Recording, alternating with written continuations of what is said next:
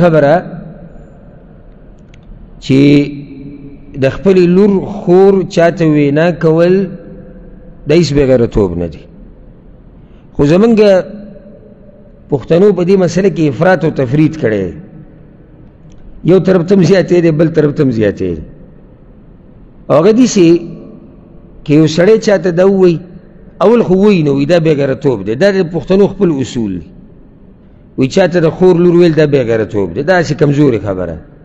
مشکل ته بل دا دی که ته چاته دا وویم یو ښه سړی دی او تا ورته ووایي سوال دی جنۍ ته کور کې ووایي ته ته په خپله موږ ته راګزار کړي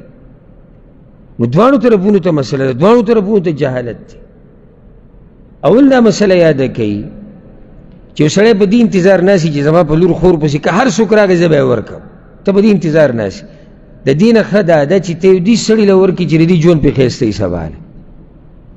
او دغه غیرت جیب کې کې دې لک ساتله یعنی اوس یو سړی انتظار کې دی چې نه ما ته به لازم وینا کېږي او ده ته چا وینا ونه کړه وینا شهیز راغی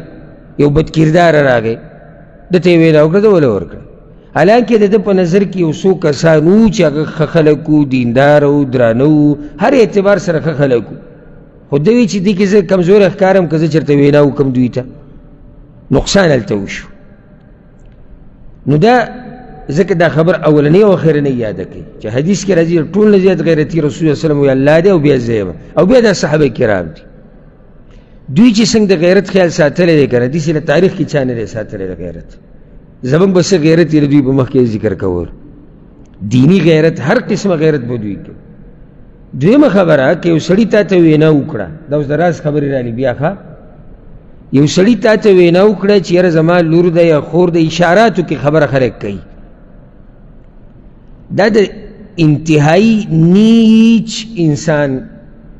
او د ډیر سپک سړی کار دی چې دی بیا خلکو ته خبره راښکاره کړي او هر چا ته ووایي یاره پلاني ما ته وایي چې لور او پلاني ما ته وایي چې خور سپکې خبرې چې څوک داسې نه کوي هغه تا سره په تا یې زړه وختو ته ورته ښه سړی ښکاره شي ته خبر وکړه احسان یې درسره کړی نه یې مني خبره بنده کړه دلته ګورې دا قصه په خپله ګورې عمر بن خطاب کړې ده او که دې عمر بن خطاب نه وی کړې نو څوک ترې نه خبرېدو عثمان بیا خلکو ته وی چې ما ته خو وینا کړې وه ابو بکر چا ته ویل ځان نه چې ما ته خو وینا کړې وه نه خبره په خپله دغه جنې پلار وکړه چې ما سره داسې مسله راغلې وه بله مسله که څوک درته وینا وکړي او هغه جنۍ تا واده کړه دا د دې سړي احسان ګڼه د دې د لاسه جنۍ نه سپکېږي او نه هغې ته دا خبره کوه دا د کمزورو خلکو کار دی دا د بد اخلاقو خلکو